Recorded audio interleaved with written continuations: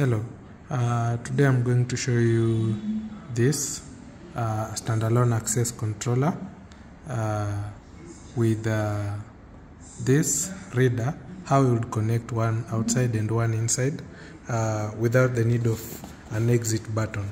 So this is how the packaging looks like for this one, the outdoor.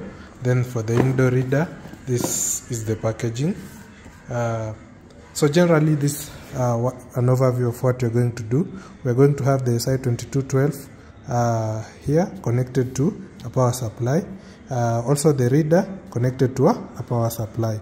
Then uh, we are going to do termination between this and this uh, using RS485.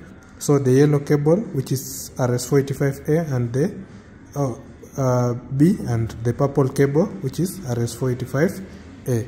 So this is the physical appearance of these devices, this device, and this is the physical appearance of this reader. So if you look at the wiring, uh, we have this yellow and this uh, purple cable connection. So generally once I add a user, so uh, I log into the device and add a user, I'll be able to add a fingerprint. Then uh, if I connect, touch on this fingerprint, I'll be able to unlock.